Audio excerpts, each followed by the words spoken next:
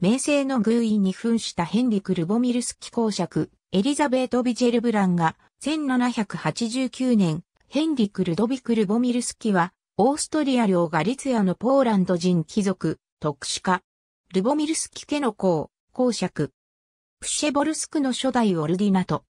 ユゼフ、アレクサンデル・ルボミルスキ公とその妻のルドビカ、ソスノフスカの間の長男として生まれ、ウィーンで教育を受けた。1809年、ナポレオン皇帝によって、オーストリア領ガリツヤの北半分が、ワルシャワ大公国に併合された際、ルボミルスキは、併合を受け入れるクラクフシリンジ政府の代表に選ばれた。1812年には、クラクフ地方の行政長官に任じられている。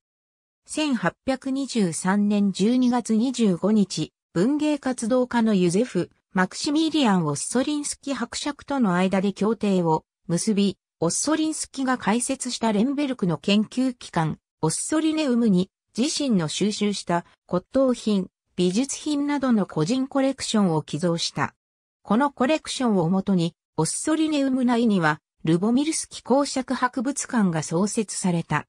1827年には、オッソリネウムの文献部門の理事に就任した。1807年に、テレサ・チャルトリスカ公女と結婚し、マニチナン三女の4人の子女を設けた。